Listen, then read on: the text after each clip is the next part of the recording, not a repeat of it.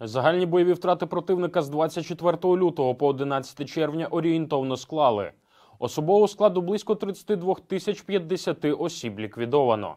Танків 1419. Бойових броньованих машин 3466. Артилерійських систем 712. РСЗВ 222.